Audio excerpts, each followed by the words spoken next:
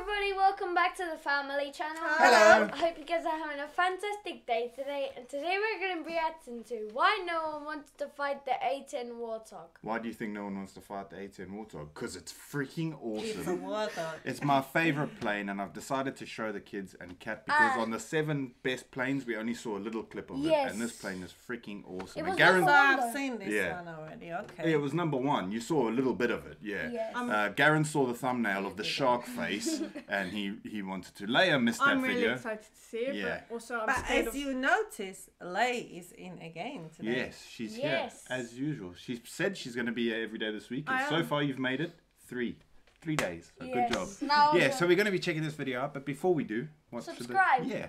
And like the video. And we also have a matching. Oh my Bye. gosh, yeah. Yeah, I think. Okay. Let's check it out.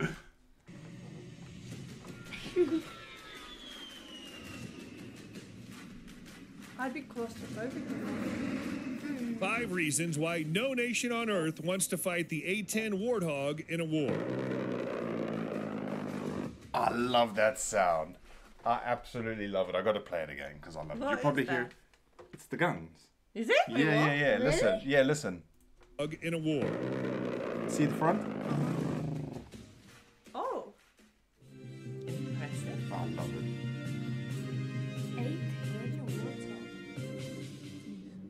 There's the one with the shark face. Oh, yeah. One simply does not mess with the A 10 Thunderbolt and get away with it. Call her the A 10 Thunderbolt or more affectionately A 10 Warthog, but the Do you know U.S. Air they call it Force the Close Warthog? Air Support Because they say it's ugly. What? I don't think it's ugly, do you? No. No. What's I a mean, it- Warthog? It A looks war- you- different. You, don't know what a warthog is. I'm South African. They're from South Africa. It's that pig. You know Timon and Oh, Pumbaa okay, of Lion okay, King. okay, Pumbaa's okay. a looks different. Yeah, it doesn't look like the conventional, like the F22 or something, but I think, Yeah. Clouds look beautiful. I think it looks Adventure awesome. will take a beating and still find a way to shower you with her low altitude armor piercing ammo. Where does he even shoot? At the nose. The See A 10 there? is one of the most revered There, pieces of My on the favorite. mouth. Uh, yeah, but like. It it shoots was at. shooting Ah, nothing that's why right the. now. Yeah, I think it's just a Is that why the mouth is there? Now I'm thinking, because those planes obviously go really fast. Yeah. Well, this isn't the So do fastest the one. bullets fly faster than the plane? yeah. yeah. Otherwise, just think, I just you. thought of that. I know it's a bit silly, but just think you s- you start shooting with another plane, then you go right You overtake them. your bullet. Hit play. equipment that our fighting men and women have at their disposal. And its track record proves it.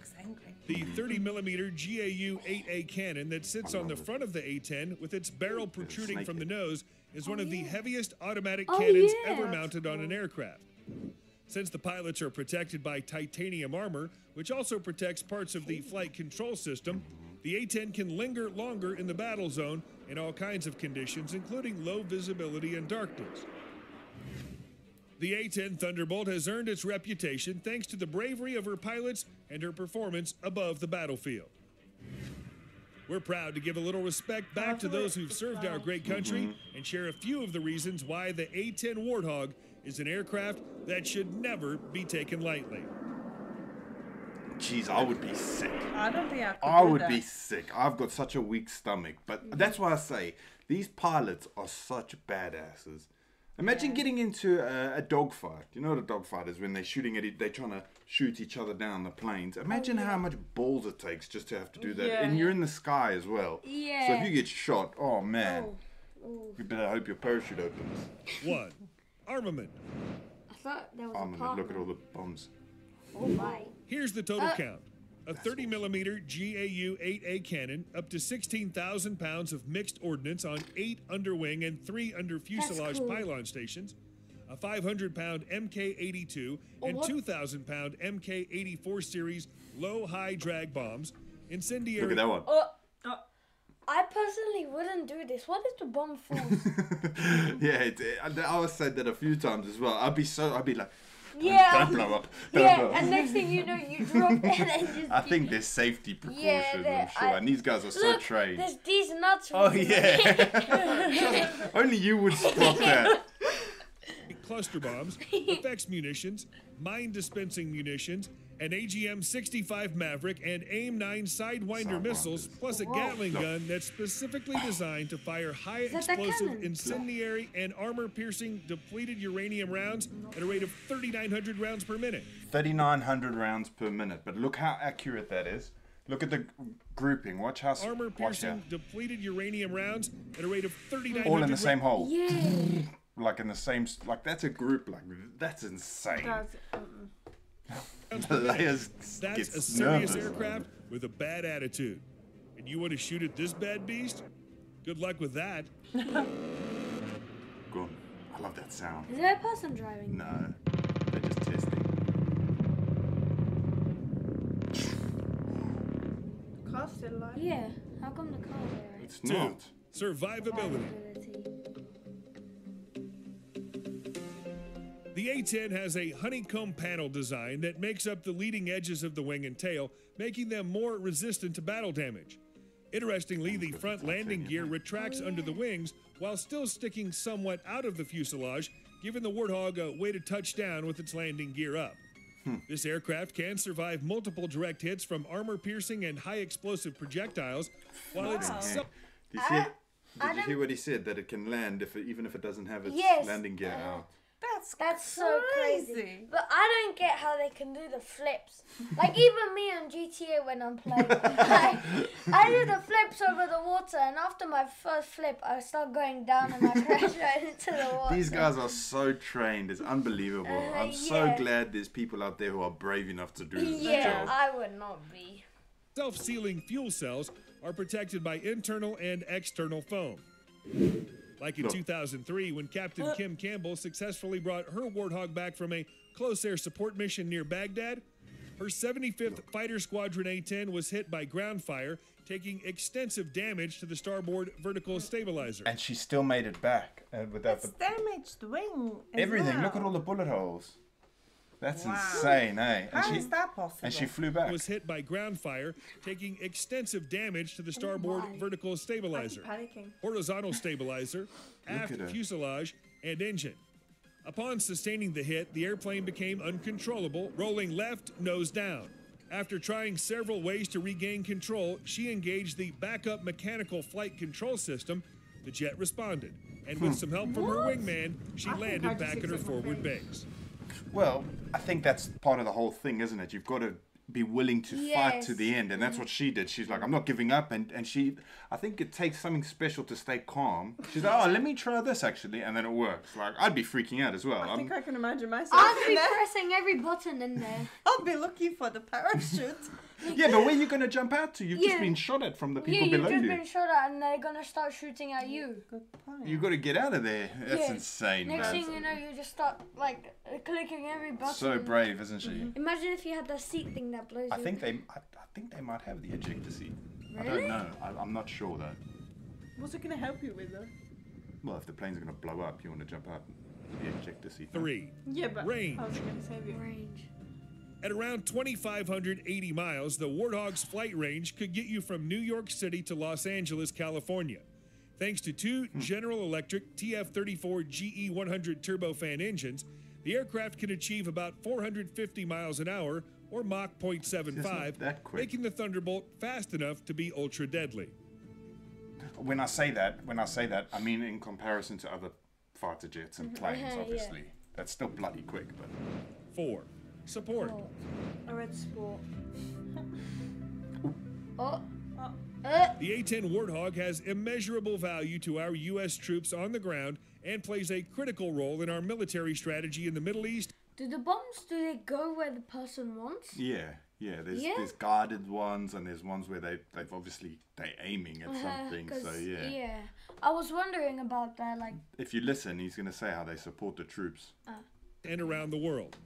Arizona Representative Ruben Gallego said, I'm glad we were able to keep this fleet fully operational, and I will continue to fight to preserve this aircraft to ensure that the warfighter on the ground gets their air support. The A 10 was specifically designed for close air support missions. Its large and varied ordnance, long loiter time It's above the scary, that battlefield, mm-hmm. accurate weapons delivery, and unfriendly field capability are more than well developed to be at the forefront of the ground forces around it.